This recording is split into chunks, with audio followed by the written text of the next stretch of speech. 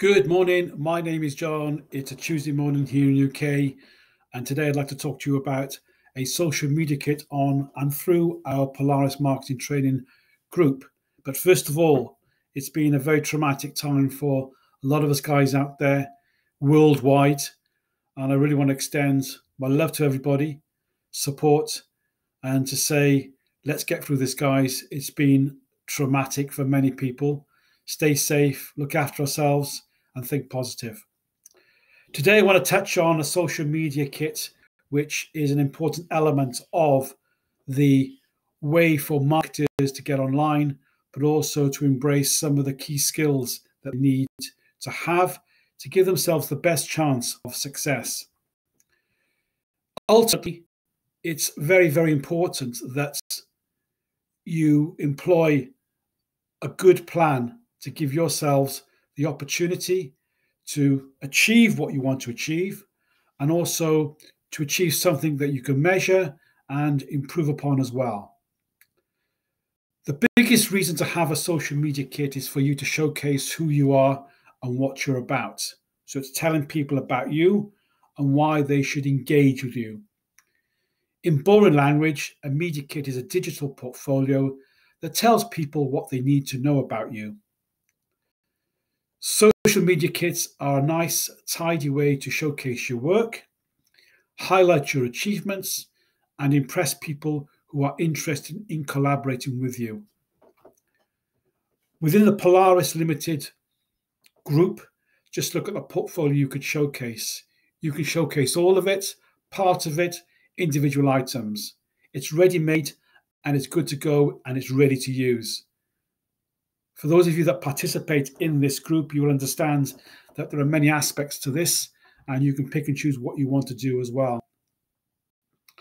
As I mentioned, you can take each element individually or put them together. It's entirely up to you. Social media ingredients. So I'm going to take one of them, and it's called Eureka Move. You know, we've got the Polaris banner, the, you know, the the organization under which there's the excuse me, the Eureka coin, the Eureka ecosystem, the Eureka blockchain, the Eureka Exchange. We've got My Passive Trades, Elite Profit Academy, the Chatterbox social media platform, the trading school. There are many, many, many elements to all of this. But I'm going to take Eureka Move, which is recently been launched. It's been in, in sort of work in progress for the last sort of 12, 18 months. And it's come to a point now where it's ready to go onto the market. It's basically a property portal. And it's an opportunity for you to engage with for example, estate agents, agents, anyone that's basically selling properties where they are looking to, you know, get their audience out there for those properties. For example, if you go to an estate agent, they'll have all the properties identified in their portfolio in the windows and through their websites. There's an opportunity for you to to endorse and help them with that, but to give them an opportunity to do it at much reduced cost, but also there's an affiliate element in the background as well. So, four very, very important points that I think will be of massive help um, going forward. First, get your story together, learn the product. It doesn't matter what it is, learn the product. Secondly, identify your target market. Thirdly, decide your approach. And fourth, put together a measurable plan. So these are four key points and are worth spending time on as they will set you up very, very nicely. Taking the first one. In terms of learning the product, speak with the leaders in the group, Paul Ward and Alexis Scrivia. You know, gain some valuable insight. These guys, you know, they've they're setting this up, so they've got a, a vision, they've got a, a, way of doing things. You know, tap into that knowledge, tap into those to that sort of expertise but also they'll be interested to hear what you've got, what you're doing, how you're going to do it, and together, you know, you can learn that product very, very, very well as well. Just have a quick uh, drink of water. In terms of identifying your target market, research your local area, types of agents, estate agents, realtors, letting agents, managing agents. These are many, many types. So find out what does the market look like? You know, who are the big players? Um, you know, what sort of um, cost have these guys got? This type of thing. So again, you're just gaining and gleaning information that will help you when you put your plan together as well. In terms of your approach, there are two styles. One's offline and one's online. The offline really refers to research generally. So, for example, you know, through where you where you live and you know what's around you in terms of those types of people. You can do offline research through the internet, um, which means that you know you're researching, you're finding out about things. So that's no different to sort of picking up an encyclopedia or or whatever. You know, in the old days you have encyclopedias. In these days they got Wikipedia. It's still research. Technically, it's research. It's done through a, an online medium, but it's, it's essentially what I call offline research in the background.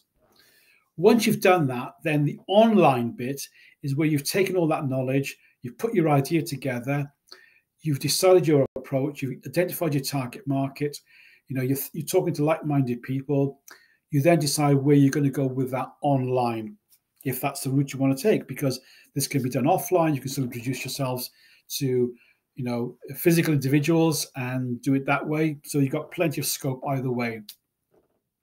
So any of these approaches provided you've done the previous work will give you a great platform.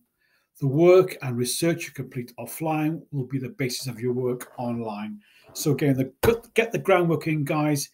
Get on top of it understand the product understand where you're coming from present yourself in such a way that it becomes attractive so that's key. So whenever you're looking for somebody, that's probably the, one of the first things that you will look at is to see, well, actually, that sounds and looks good.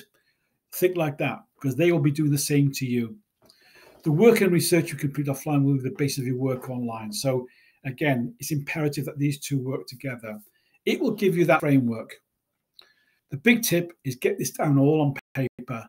it needs to be something you can measure because you need to know where you're going to start the bit in the middle and a bit in the end. So starting, the task that you're going to be doing, identify the market, how you're going to approach those different people, you know, how you're going to measure it, for example, you know, it's going to be, for example, a campaign you're going to set off for a couple of months, then okay, then within that month or two, then you would have achieved and contacted these types of people, built these types of relationships, and go from there.